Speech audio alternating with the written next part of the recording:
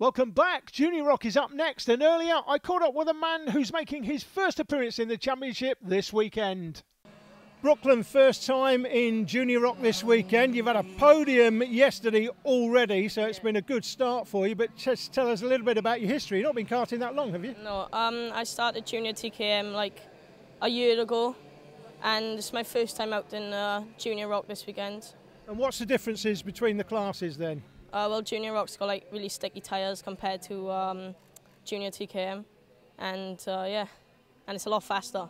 Yeah, a lot faster, a Yeah. lot heavier as well. Is it? Yeah. Is it more? Takes more upper body strength, I think, to handle it. Yeah, it's um, so you can go in the corners like a bit faster as well, and yeah.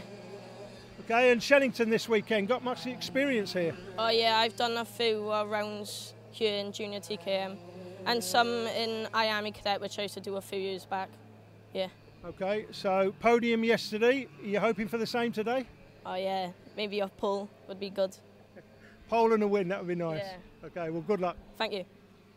Oh, we wish Brooklyn Thomas all the best. You just never know in Super One, anything can happen. Will Orton and Dylan Hodgson on the front row of the grid from Brooklyn Thomas and Ben Doughty. Kieran Pepper and Isaac Lord make up the third row. There may only be half a dozen, but it's Junior ROK, it's Super One, and it's Shenington. Expect excitement. Here we go, blasting down to the first corner, charging through the left-hander and up towards Cafe. And already a very strong start from Dylan Hodgson, but not enough to overhaul Will Orton as they go through Cafe. Look, he's already blasting away.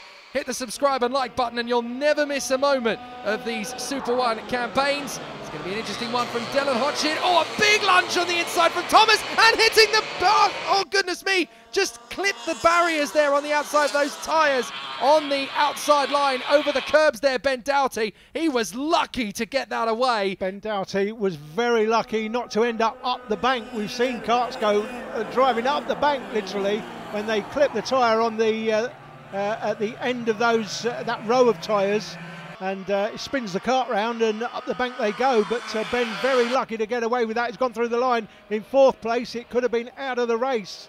Well, Will Orton having an incredible season. Races in Junior ROK in Super One. Races seniors out in Europe, of course, as well. Having an amazing year. Here goes the brilliant move from Thomas on the inside of the Stratford hairpin. And he gestures to Dylan Hodgson behind. Come on, go with me. I'm the man with the pace here. There's the old push signal, the old standard. He's been watching Super One videos for years. This is where they learn. it. Yeah, come on, push me. Let's get after the leader. Yeah, push me. I don't want to push you. But Hodgson, I've got a feeling, will have other ideas. He'll want to get that second place back as soon as he can. He's not going to be content just sitting there. But uh, they can't start messing around defending because they're just going to take time off each other and allow the leader.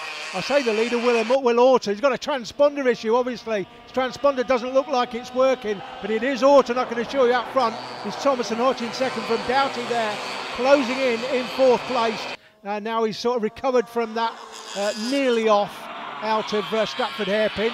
And in fact, there he is on the 28, getting much closer. 55 is uh, uh, Kieran Pepper, and then Isaac Lord in behind. I have to say, Ben Doughty's recovery is pretty astonishing considering he very nearly chucked it into the chicken house on the far side there. That was a very good recovery, and he is there in fourth position. And look, he is actually gaining time on Thomas and Hodgson. Hell for leather. He's using that mistake, that moment, and going, right, there is no better ammunition than frustration, than that red mist, and he is charging hell for leather to try and catch up to these two in the hope that if Orton just disappears out in front, which he's definitely looking likely to be doing at the moment, if these two hold each other up in their bid to close up, then Doughty's got a chance Yeah. to close up. He's Well, doing look, it. Look at the time, 1.072. Let's see how far behind he is as he goes across the line. He can certainly judge what he's doing on their braking, where they're braking, where they're slowing down, where he needs to brake. So it should allow him to get that much closer. But again, this is a great battle. That's Orton out front, transponder not working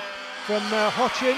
There's barely Ben anything Doughty, uh, he didn't close at all, Ben Doughty, on that lap. That's Isaac Lord pictured, rookie season. He's running in P6. See, Will Orton is just cantering away into the distance despite the difficulties with his transponder. Dylan Hodgson, though, is actually the fastest driver on the circuit. He's gone purple on that last lap. So he is trying desperately to gain the ground and momentum back on Brooklyn Thomas. But he's got to be careful here. He doesn't want to get into hot water. Like and subscribe, hit the notification bell, and every time there's a new race upload, you will get a notification. and you'll be able to sit back in comfort and watch the best kart action in Britain. Here we go, over the line again, and it's still Orton stretching out that advantage to Thomas and Hodgson. You've got to say, for Brooklyn Thomas in particular, this is a stellar performance to come into the championship for the first time in the season finale yep. against drivers who have been here all year long and be up in the top three on merit without accident. This guy's absolutely a contender for the future. Yeah, he's not that far behind the leader, and he's in front of a man who's very quick himself, Dylan Hodgson, top quality driver. Doughty is as well. He's not closing the gap though, Doughty, 1.2 compared to just over a second earlier. So he's lost about a quarter of a second on these two. He won't, won't want that gap to get any larger than that. He'll want to try and close it, but looks like he may be having some issues. Four different team setups in the top four places. For Litchfield Motorsport up front, it's Will Orton. On the M Sport Racing squad card is, of course, Brooklyn Thomas. Then it's the Kato Motorsport man. Kato Adams will be delighted. Dylan Hodgson pushing very hard there in third position, trying to get into second place. And then it is the Mark Baines Motorsport man, Ben Doughty, who is there in fourth position. Very indicative of just how competitive it is in Junior ROK to have four different operations in the top four places as they battle away for position. But obviously, it's always going to get more and more exciting as the Junior ROK and uh, the ROK relationship in uh, in its entirety develops with Super One through the years. The grids are growing for the 2020 season. We hear that there are positive signs for an even bigger campaign in the 2020 season as the ROK engine is now well embedded in the Super One paddock and it's uh, going to be a very strong relationship as they continue to work together. Yeah, somebody asked me recently, what's happening with Super One next year? Is it still it's still going ahead?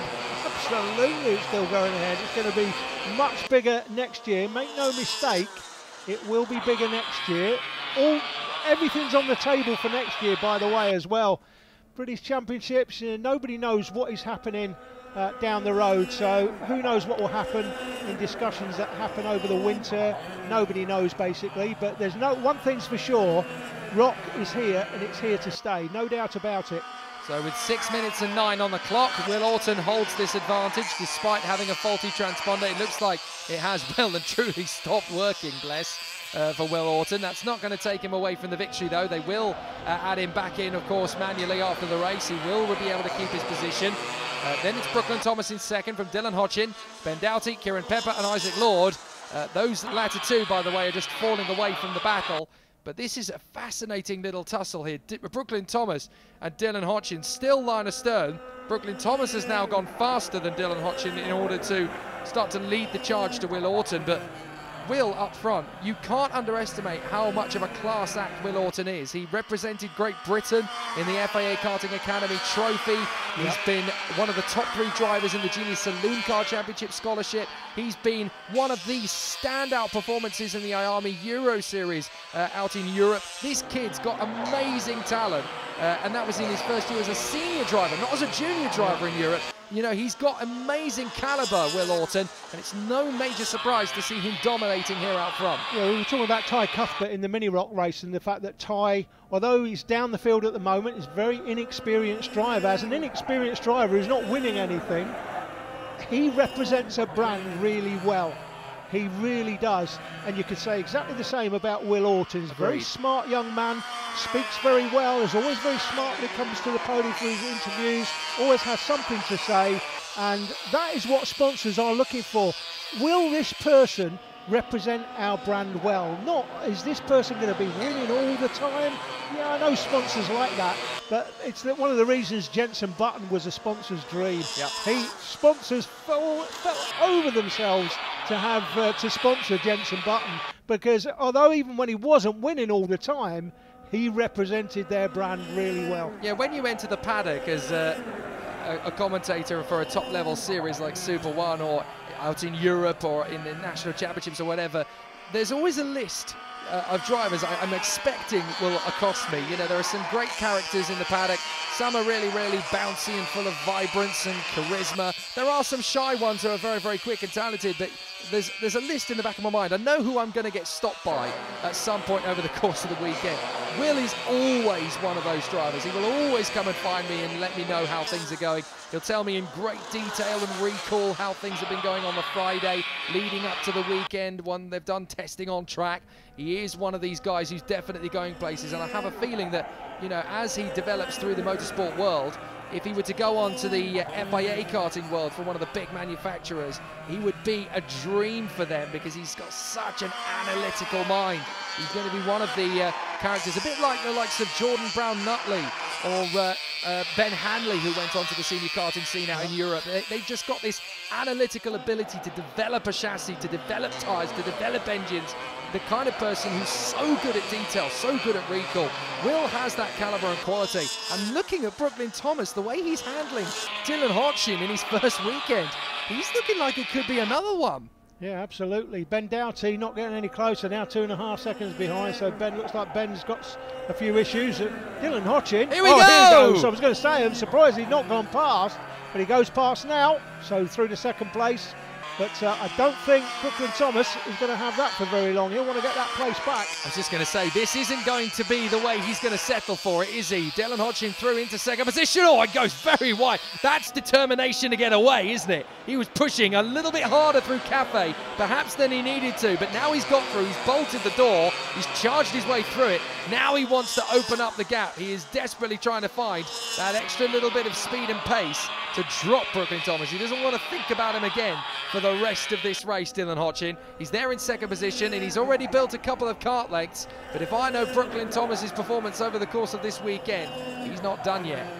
Don't forget to like, subscribe, and hit the notification bell, guys, and we'll uh, send you a message each time we upload new content. Jake and I are planning on doing, I've just done a, a kart show live, Jake, just before we started this commentary.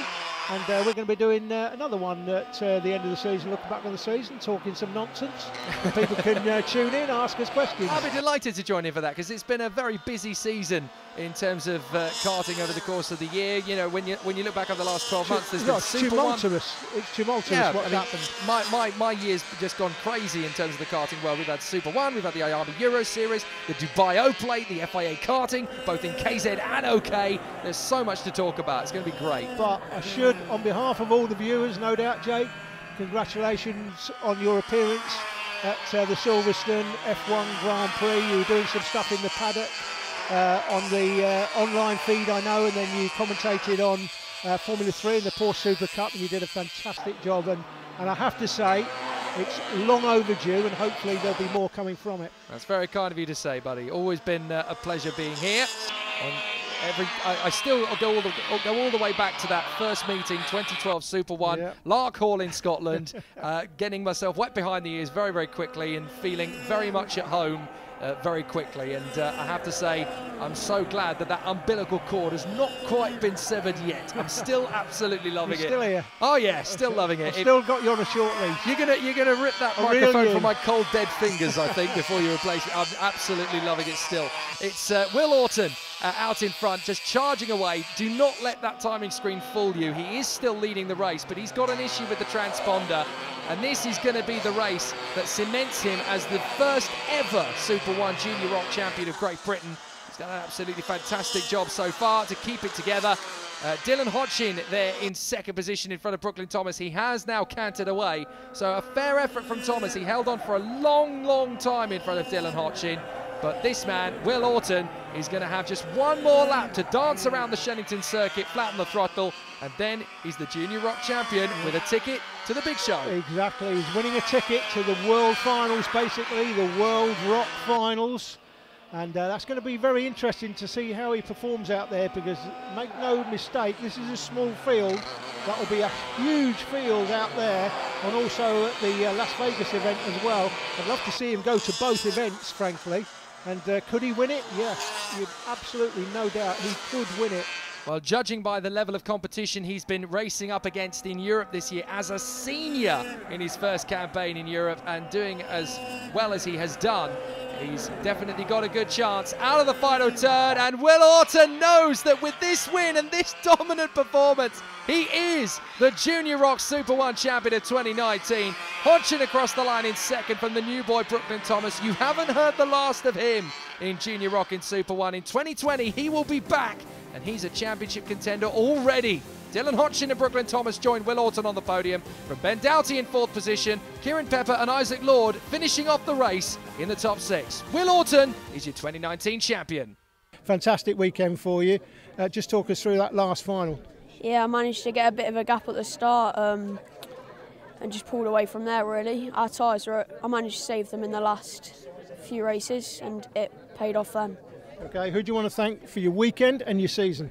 My mum, my dad, um, and just everyone that's helped get me there. Okay, well done. Congratulations. Thank you. Thank you. Finally, he takes the deserved Super One Championship he's been after for a few seasons now. Will Orton beats Dylan Hodgson to the flag. Ben Doughty is third in the point standings from Kieran Pepper and Isaac Lord. The Junior ROK King is Will Orton, and rightfully so. And when he heads out to the ROK World Finals in Italy, and then on hopefully to Las Vegas as well, he's going to be a bit of a diamond in the rough that could charge to win the whole thing. Senior ROK is up next, and there could well be a couple of British stars heading to the Worlds as well.